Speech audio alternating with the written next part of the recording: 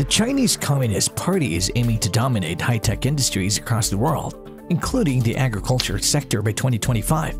China is highly optimistic about its lined-up modernization in the agriculture sector as if everything falls in place. It's pretty obvious China will lead the industry, especially the agriculture sector.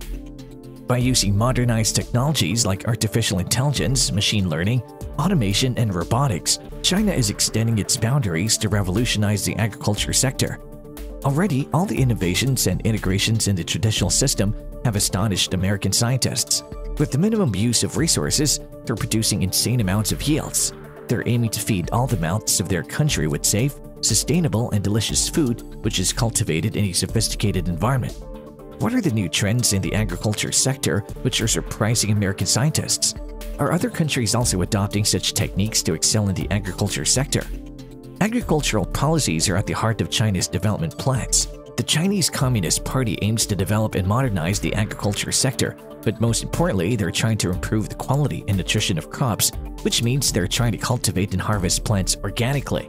Their vision is pretty clear as they aim to build a modern agriculture ecosystem where labor-intensive tedious tasks are replaced by tech-savvy machinery. Already, some of the modern agriculture platforms are extraordinarily monitoring gigantic farmlands with the help of drones and pattern modeling. There's some help required for farmers. They immediately send a helping hand by which farmers can smartly continue doing their work. These platforms have turned mobile phones into intelligent environmental tools and resources. With such amazing technology, they can maintain hectares of farmland efficiently and quickly. This is not the only step taken by China to improve the agriculture sector, but they're also working on some techniques which will provide gigantic yields with reduced use of fertilizers and pesticides and save water. One of the modernized farming techniques is hydroponics, which saves gallons of water, and there's no use of fertilizers and pesticides as well. In this method, plant roots are submerged in the nutrient-rich solution in a grow tray. Nutrients are replenished a few times a day with the help of a reservoir below the tray, a water pump, and a timer. Potatoes are highly benefited from this technique, as with just a little water, the plant produces maximum yield, and the exciting part is China will soon gear up to be a major producer of potatoes globally. Mostly this water-saving technology is used in indoor farming. China has very few amounts of arable land, but they also have a burden to feed its population, so they came up with excellent ideas for indoor farming, especially vertical farming, which is successfully practiced in some parts of China, and you can easily spot them in the urban areas and skyscrapers. One of the exceptional benefits of switching to this modernized vertical farm is that scientists are using 94% less water compared to what was used during the conventional farming. This is because they're using the technique called hydroponics.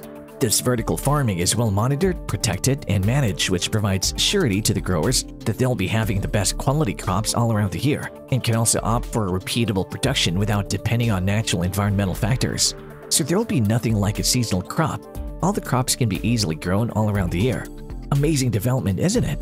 Indeed it is. The next solution China found to meet the increasing demand is by converting deserted lands into arable lands. Is it possible? Well, China has already converted hectares of the deserted area into arable lands, and the output from this technique is insane. The deserted area in China is currently 5%, which will boost up to 15% once their motto of constructing forests and cultivating crops is successful. This greenery all around the total Chinese land will help in reducing the carbon dioxide in the city.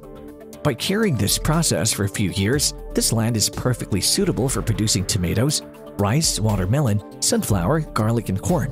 One exciting cultivation in this greenhouse project was growing white strawberries. This was one of the most unique ideas of growing strawberries with a twist, and this idea triggered amazingly, and now Chinese farmers are gaining tremendously by selling these strawberries. So the modern techniques and integration in technology adopted by China are phenomenal. Not only American scientists, but the entire world are surprised by the crazy pump in the agriculture sector, especially in the last three decades. Finally, what are your thoughts on China's excellent improvements in the agriculture sector? Will America compete with China to lead the agriculture sector? Do let us know your views in the comments below.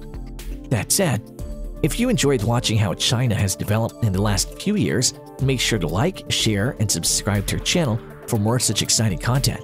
See you in the next video.